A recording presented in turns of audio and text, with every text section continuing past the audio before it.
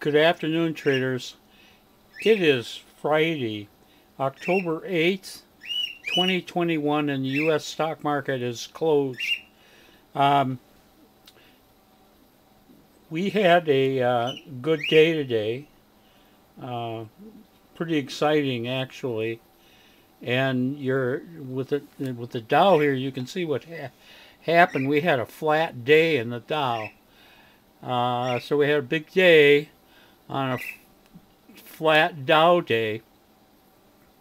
You look at the range here compared with yesterday, you know, it's just minuscule. And I was kind of having a deja vu uh, feeling about this. And I went back historically and I discovered on September 24th, last month, on a Friday, just like today, we had made $27,000. Um, and the Dow was also flat like this. So I don't think that, I'm sure that's a coincidence, not really a repeating pattern, but it's just kind of interesting to me. We had 20 positions coming in, and if you saw the video yesterday, you know I was scared to death about what was going to happen with those 20 uh, positions because we were uh, slightly negative, but the far majority of the trades we were holding were were all negative. And in fact, uh, we of those 20 positions, uh, 12 closed out negative this this morning, um, and five of those 12 negative uh, positions closed out more than $5,000 negative. So just four of the trades this morning closed out negative over $20,000. And then we still had a whole pile of other negative ones. In fact, we had $36,000 in negative trades. However, we still finished closing out positive over $14,000 today. Well, how did we do that?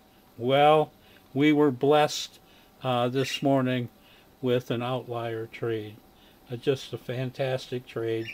And that took our positive trades up to over $50,000. And so $50,000 minus 36 comes out to positive just over $14,000 in closeout trades. So an outlier trade saved our butts on this Friday morning. I'm very thankful for that. Um, and the, the, Dow, incidentally, if I didn't mention, officially closed negative nine points. Uh, practically no movement there. So about the only thing big that I, oh, we got into, I'm sorry, I, we got into three new positions. Quiet day for our entries.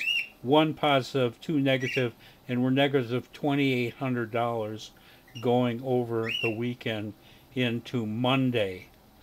Uh, however, they have just one thing to talk about, but it was big.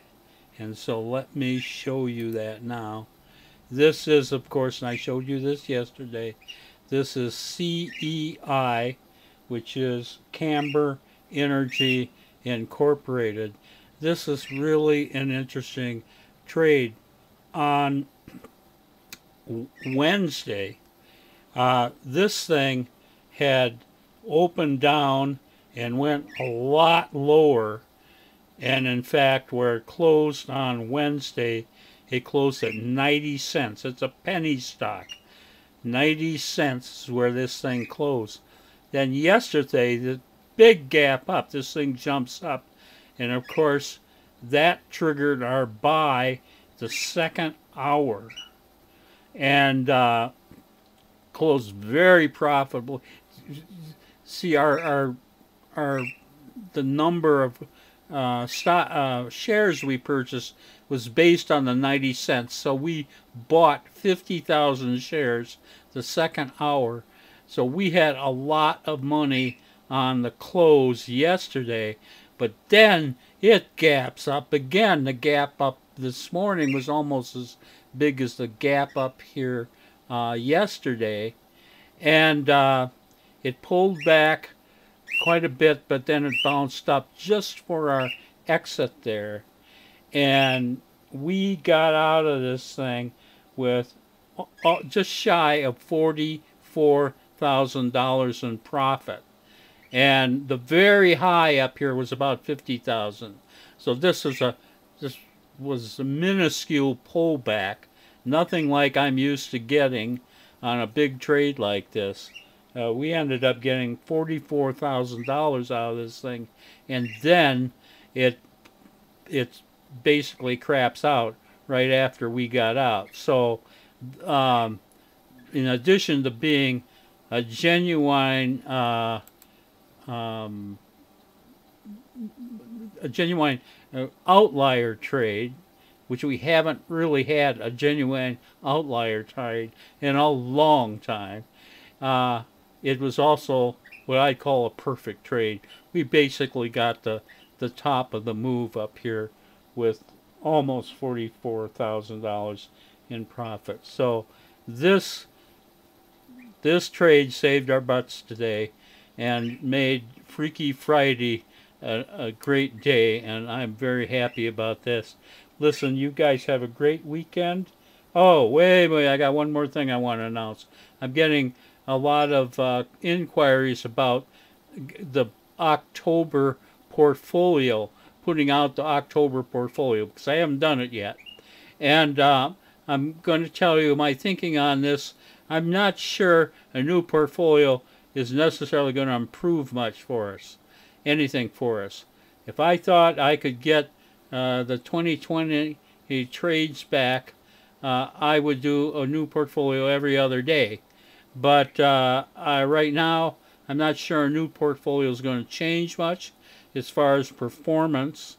Uh, anyway, I, I want to at least give it next look at things next week before I change and I might even consider just keeping this same portfolio which was done last month and holding it and then doing a November portfolio and putting that out on Halloween. I haven't made a decision on this, but I will not be putting out an October portfolio this weekend. Hey, you guys have a great one, and uh, I will be back here trading on Monday as usual.